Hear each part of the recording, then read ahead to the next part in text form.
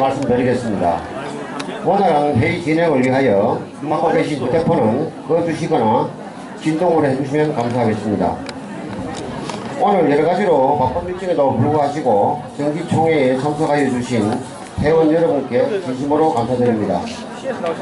잠깐만 기다려 주십시오.